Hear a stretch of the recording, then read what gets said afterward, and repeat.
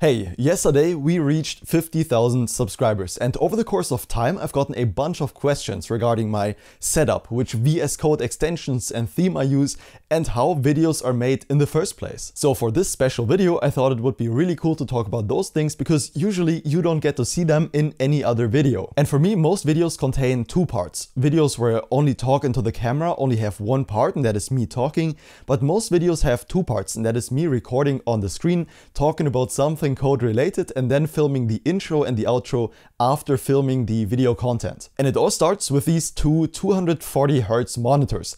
Trust me, 240Hz is worth it in my opinion. It's much smoother than a 60Hz monitor and that is where I record my videos. I set up the camera, I set up the lighting and then I also set up the backlighting so the background looks nicely lit when you look into the face cam. For the screen recording I use OBS and then for the audio recording I use Adobe Audition because I have a preset there that just sounds really crisp with my microphone which is a Shure SM7B. As for my actual setup, it's a $20 cringe keyboard from Amazon and then also a very dusty old gaming mouse that is wireless though, and wireless is pretty nice to have. And while I do the videos, I have 12 extensions helping me do that. For example, Astro, language support for Astro, EJS language support, which I think is for JSX, I'm not totally sure, GitHub Actions, especially useful for NPM package development, GitHub Copilot to give me suggestions while I code as an AI helper, import cost to show me what each import costs to minimize my bundle size. So for example, these green things you can see right here is the import cost of each package.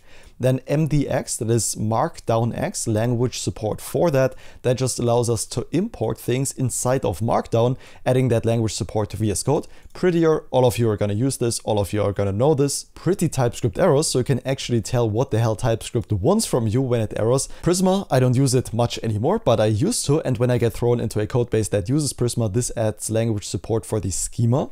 Tailwind CSS IntelliSense, so when we hover over Tailwind classes, it shows us what they do. WSL, that allows us to run a Linux terminal, a Windows subsystem for Linux inside of VS Code. And lastly, XML that adds language support for SVGs, so we can use prettier in SVGs. And as for the theme, right here under color theme, I'm not using the dark Visual Studio, the standard one, but one that has a bit more contrast. You can find that in here under Dark Modern. I just think it looks way cleaner than the other one. And after recording all that, I slap it into Premiere Pro and need to synchronize it first. And I do that by clapping because by clapping I can synchronize the audio to the screen recording to the DSLR camera that I'm recording the video with and that just makes it super easy to synchronize everything and then edit it all together. I mostly edit out some basic stuff like when I lose my train of thought, when I take a sip of water, nothing special and just make the video a coherent piece of video that people would actually find interesting and would like to watch and then that's pretty much the video. Now what's left is the intro. And for the intro you always see me just like this but technically you see me like this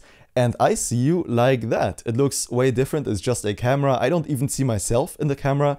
Um, you know, it's a bit weird, but you get used to it really fast if you do YouTube videos.